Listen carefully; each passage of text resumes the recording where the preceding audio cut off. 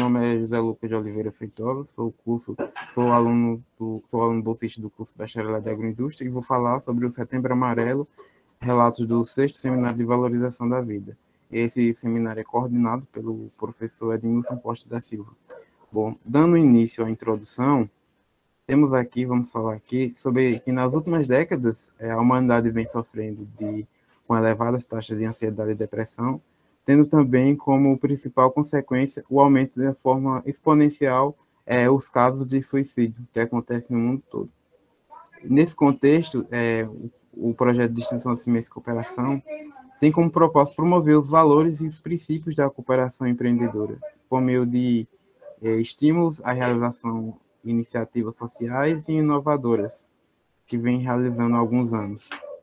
Bom, é, vamos dar início à apresentação. Agora é, vamos falar sobre o objetivo. Bom, nesse objetivo, é, vamos, é, o seminário tem como objetivo a difusão dos conhecimentos relacionados à saúde mental e à prevenção do suicídio, e também a promoção de melhor é, preparo para lidar com o contexto de forma mais tranquila possível no dia a dia. Além do objetivo de apresentar os detalhes advindos da, realiza da realização dessa ação, Bom, esse é, o objetivo ele ele está junto às comunidades de Bananeira Solânia e especialmente daquelas é, é, situação de vulnerabilidade e risco, de, é, comunidades de situação de vulnerabilidade e risco, bem como junto à comunidade acadêmica do CCHSA, o FPB, e a comunidade, comunidade virtual em si. Bom, iremos agora, próximo slide, na metodologia. A metodologia foi utilizado ferramentas digitais como Google Meet, Instagram, WhatsApp. Como vocês podem ver aí, alguns foram utilizados para divulgação e outros para reunião. E ao longo do mês de julho e agosto, a equipe se reuniu e teve reuniões semanais do Google Meet para divulgação e elaboração desses materiais. Bom, no próximo slide, vamos aqui ver é, os encontros da equipe.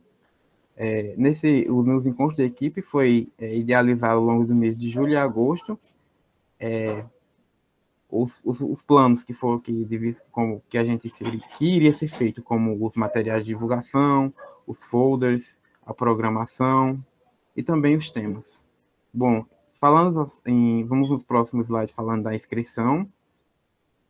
A inscrição, é, a inscrição foi realizada através da plataforma Siga Eventos e do Google Forms, onde obtive-se um total de 148 inscritos, incluindo professores e técnicos administrativos.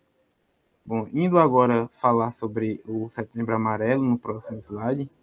O Setembro Amarelo, ele acontece nos meses de 14 e 15 de setembro e é realizado por meio de uma vídeo, ele, nesse ano ele foi realizado por meio de uma videoconferência transmitida pelo canal do CAVN e nos turnos da tarde e da noite, em uma carga horária de 8 horas e de uma carga horária de 8 horas, atendendo uma média de 40 e 50 pessoas por palestra. Bom, em falando em palestras, no próximo, no próximo slide, vamos aqui falar sobre as palestras, né? Que a programação continha palestras com uma mesa redonda, a participação de psicólogos e pós-graduados e psicólogos e também um pós-graduado em mídias digitais, sendo eles de diferentes estados brasileiros.